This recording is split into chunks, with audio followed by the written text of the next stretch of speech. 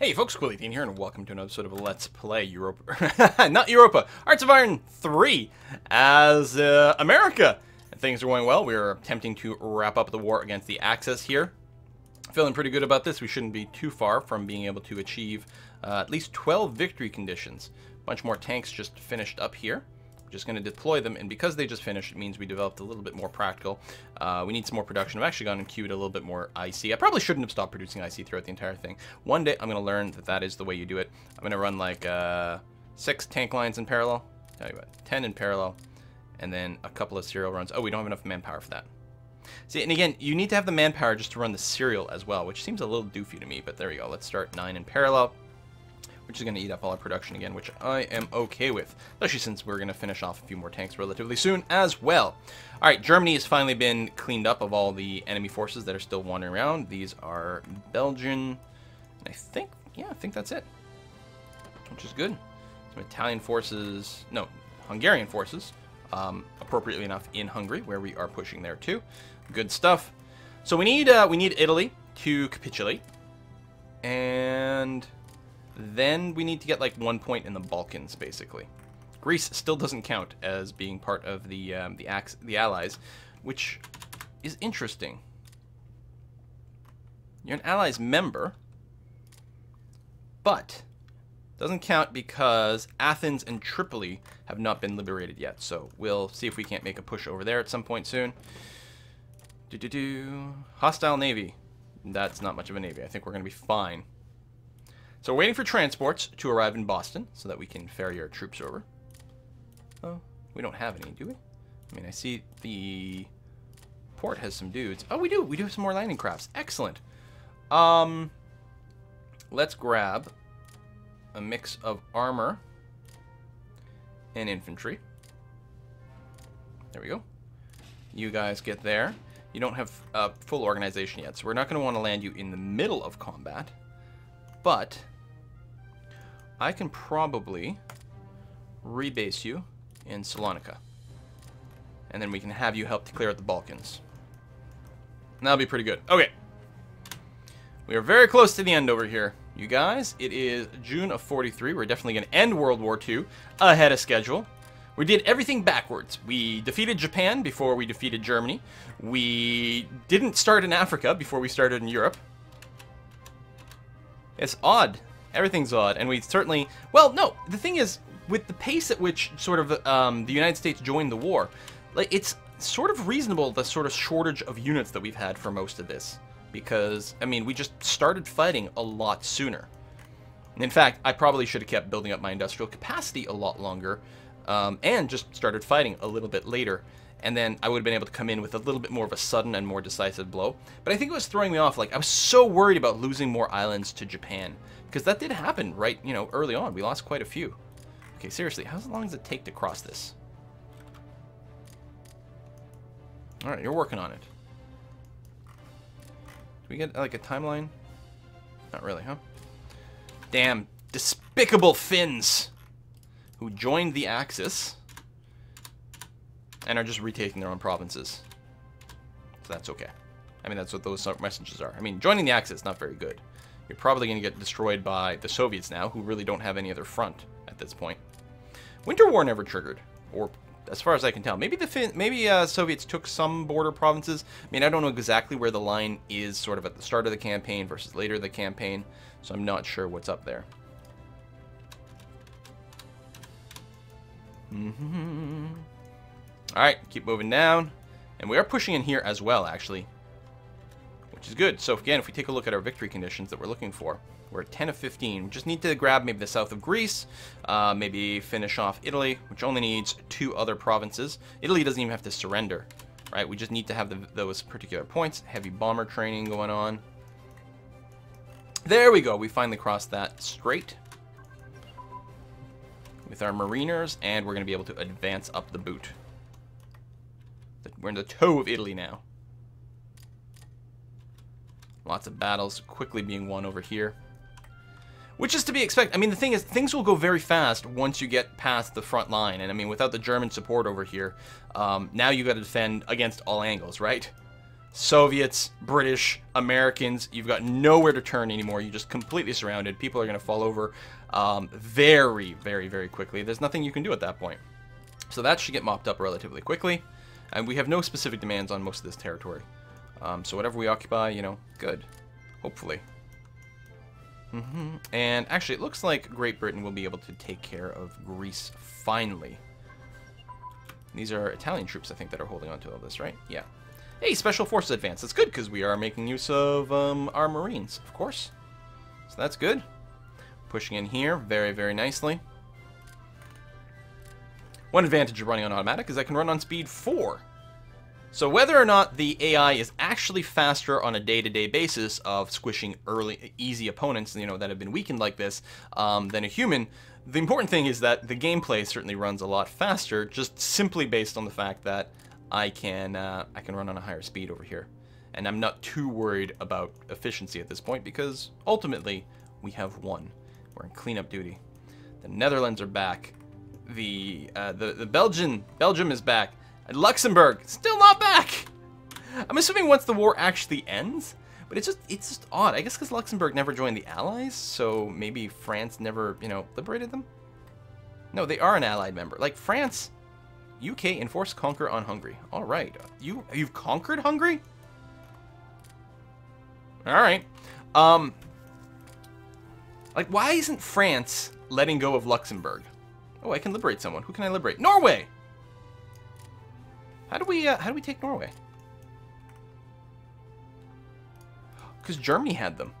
Oh, I didn't realize Germany just flipped occupation of Norway to me, or and or we're still occupying it, but they never released them. That's kind of rude of you, Germany. There we go. Norway has now been liberated. Your axis properly. Good. I don't know if you're going to do anything about Finland. It's okay if you don't. Yeah, there's still some German troops around, still doing some things in Finland, but they're not really going to have supply routes, so they can't possibly last. But at least it stops Finland from causing any other problems in, say, Norway, for example. All right, continuing to push aggressively here. We've got... No, Rome is going to fall soon. There we go, drop tanks, excellent. We can actually get some more research going on. There we go, we'll do that. Because our officer count's going down a wee bit. Okay, good. Keep pushing down that way. Despicable Finland. Pushing up this way. Great, no battles here, so we're going to be able to move basically as fast as the ground troops can move. I, I don't know if Marines have the exact same movement rate as um, infantry or not. Marines, uh, three, no, that's people. Kilometers per hour, four. Okay, no, so all infantry have the same rate of movement. I mean, unless you're motorized or mechanized. Mechanized. Surge of volunteers. 10% more manpower. That's good, because manpower is always my shortage. Lost the Battle of Palermo. Oh, it was an air battle. That's okay. Uh, nope, sorry, Soviets. No lend-lease for you. Alright, Italy. Rome is about to fall, and Italy should surrender after that, because they're not going to have much in the way of victory points left. Uh, I mean, they do have some in Africa. I mean, they do have Toronto and Napoli over here, so that's something. I'm just going to say start saying Toronto. You know, because largest city in Canada.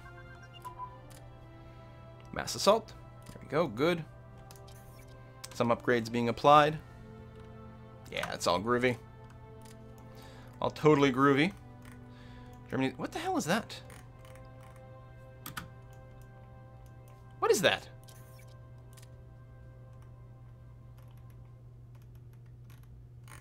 Circle. Oh, it's mechanized. Oh, okay. Do do do do. I guess mechanized is the one that's better than motorized, isn't it? Yeah, motorized just means you've got some trucks. Mechanized is the ones that now you're basically like, I don't know, you're, you're a mech warrior at that point. You go around in, in battle mechs. Pretty sure that's how World War II ended. I'm a little fuzzy on my facts, you guys, but I'm pretty sure. Okay, I'm tempted to go to speed 5, but then there'll be more pop-ups than I can possibly deal with.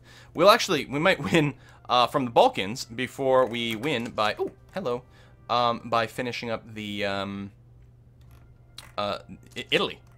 So I think... I think we can sort of make our own structure over here. Might...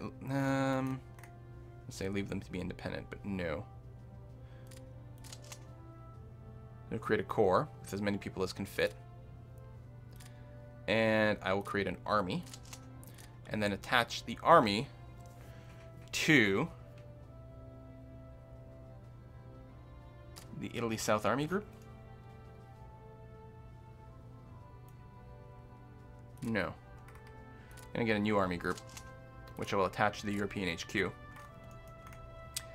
I'll go ahead and automate you.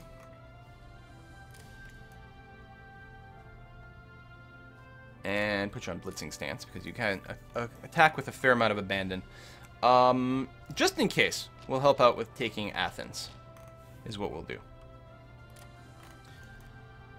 And then people who aren't part of something over here, click, click, click, click, click, there you go.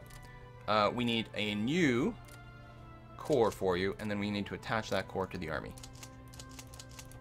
And then start that clicking thing again. You can get attached to the new corps. Oops.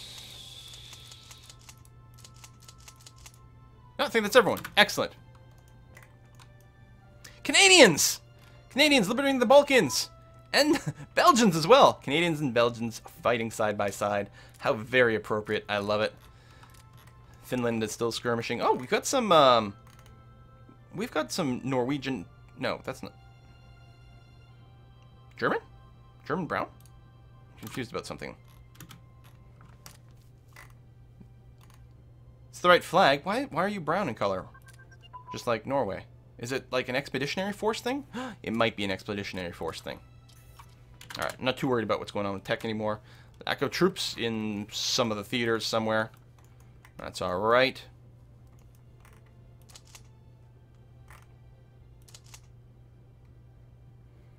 And yeah, I told you to go and blitz Athens, which should be okay. Sorry, Soviet Union. No lend-lease for you. Take some more bits of Italy away.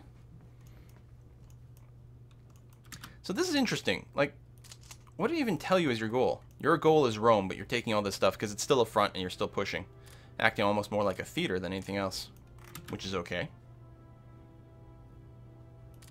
At this point, the theater actually must have territory. It's one of the things it didn't have before, but you do. Actually, there's a weird mix of territory. All this should be European HQ.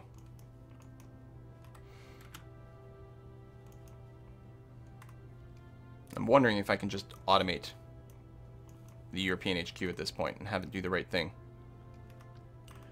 Probably? I don't know. Things are sort of happening the right way as is, so I think we're going to be okay. You guys are continuing to push south, maybe more slowly than I'd like. There's Rome. Oh, Rome. All right, yeah. Oh, that's not a that's not a victory point condition. What else we got? Oh yeah, we got to make the push for um, for Napoli, for Naples.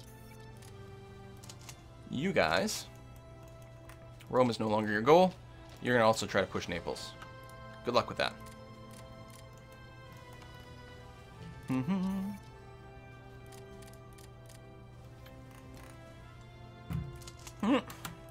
This army group, you no longer have to go to Athens. Athens is good. Actually, this should be all the Greek markers that we needed, isn't it? Let's have you move north instead. So we should be sitting at 11. Yep, we only need one more victory condition. We... Actually, we have the Italian one. It probably just hasn't processed it yet. And honestly, Bulgaria and Romania would about fall. The only thing left would be whatever bits operating Operation Zeppelin have over here. Oh, I think those are Turkish holdings. Turkey is not a part of anything. Ah, we can't we can't declare war on them though. Still, that's okay. I think I don't know if it's at the end of the day. Oh, there we go. Yeah, it was a new day as soon as the new day ticked over. We have won. We have won, you guys. Um, I think I can continue and then resign and get information. Right? We enforced puppet on Italy. I think I'm going to continue. And let me make a save. And then resign so we can get our stats. Look at that. USA! Democracy World Order! USA! USA! USA! We got so many points worth of stuff. Um, I mean, we could go and finish it. Obviously, Bulgaria and Romania should fall in some fashion um, relatively soon in here. which would give us a pretty good block. I, I may, I don't know. I've got a lot of stuff on the plate right now. I may come and see what it's like to uh, to drop some nukes on Moscow or something like that. No promises on that whatsoever, though. Um, but stay tuned. If, if it's going to happen, it'll probably be like after a few days break because we've got so many series coming out, especially with the uh, EU4, the Cossacks having just been released. But thank you very much again for all your advice that you have provided me for playing this game, um, learning with every single playthrough. Really had a lot of fun. If we do another playthrough of Hearts of Iron 3, it will almost certainly be as an Axis member, and I'm actually thinking about playing as maybe Italy as opposed to Germany, because as playing as the Soviets in the USA, we've played as two very massive powers both times. USA isn't the leader of the Allies, but they are huge and massive. Um, and as Italy, we would be a, a powerful uh, nation, but a secondary one. And it'll be really interesting to see exactly what we can do with that setup. And I've hesitated to play as Italy for a really long time. It's apparently really fun, but I hesitated because the naval game was um, a little bit scary to me, but now I feel like I've got a pretty good handle on that. So hopefully that works out okay. Thanks for watching, folks, and I'll see you next time.